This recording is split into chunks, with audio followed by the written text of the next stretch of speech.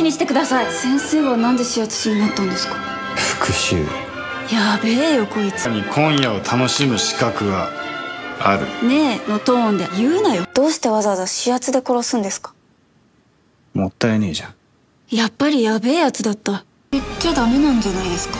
マジで？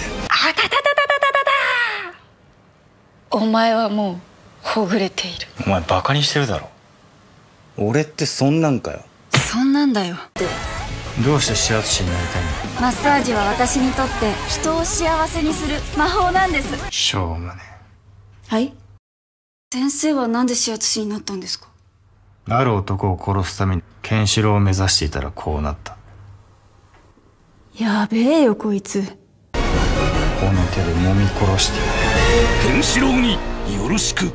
北斗神拳も知らずに指圧師になろうとしていたのか。それは医学書みたいなものですいいから読めって。あ北斗神拳って何、